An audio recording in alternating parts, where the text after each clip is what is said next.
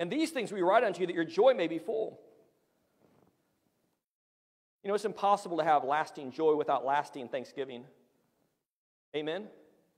Eternal gratefulness is the source of eternal joy.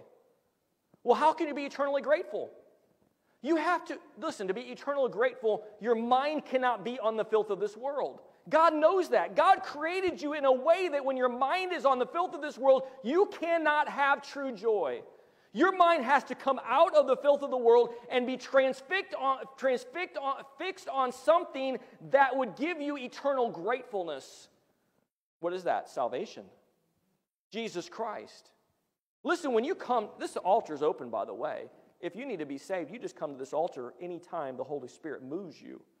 Amen. You don't have to wait for me to call you to this altar. Listen, if you're lost today, you just come down to this altar, you bow your head and say, Lord Jesus Christ, I'm a sinner. Will you save me? And He'll save you. And